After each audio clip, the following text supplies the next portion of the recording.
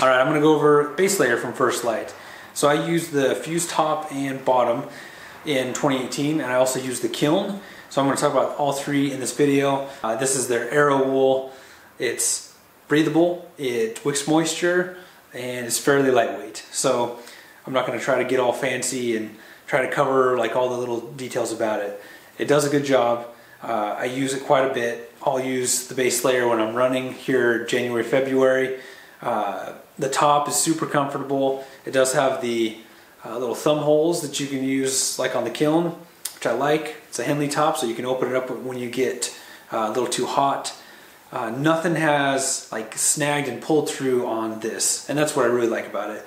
You know when you have like Under Armour shirt, super nice at first, and then you you rub against something and just pull the pulls a couple threads and like just makes it look horrible. Um, I use this when I shot my deer this year and went through, uh, you know, a burned area, lots of sticks and stuff hitting me. Didn't have anything snag on it, so um, I really like that. And I, I don't know why it's, you know, what's 100% different about it, but um, I don't have issues with snags. Same with the kiln. I've used the kiln uh, more on the as an outer layer, just in between uh, where I need like a, a soft shell.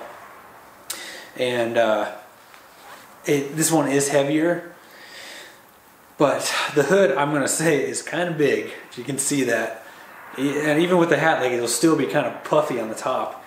Um, but it'll keep you your throat nice and warm. See that it comes over my glasses.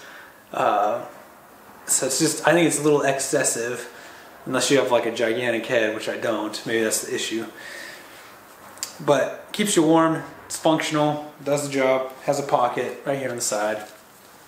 A deep pocket, just like all the other pockets on First Lite. Um, I like the kiln. If you're just trying to get into base layer and you can only afford like one piece of like a top, I would go with the kiln because it's going to be a little bit warmer and it provides you the hoodie and um, protection for your neck and chin. Um, but if you if you got the money to get base layer as well, I definitely go with a fused top and bottom.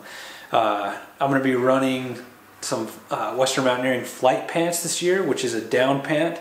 Um, so I plan to use less uh, layers of uh, base layers underneath, so I can uh, just kind of go in with my regular hiking pants in the morning, and then when I glass, put on down pants to stay warm uh, in efforts to lighten up my load. That's kind of the plan, so we'll see how that goes once we get into the year. But that's the base layers. Uh, I uh, hope that was helpful for you. I'll have a link in my description of the video um, if you want to go get more technical specs. Thanks for watching.